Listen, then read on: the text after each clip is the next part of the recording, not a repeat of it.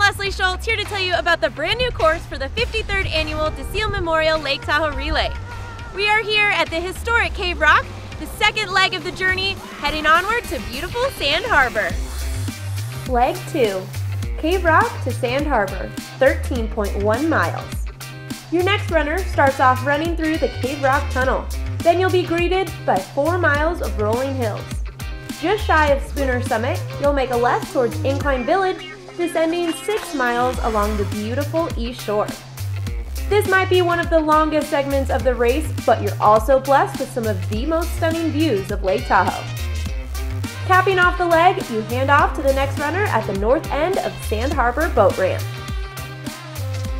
Register your team today at LakeTahoeRelay.com.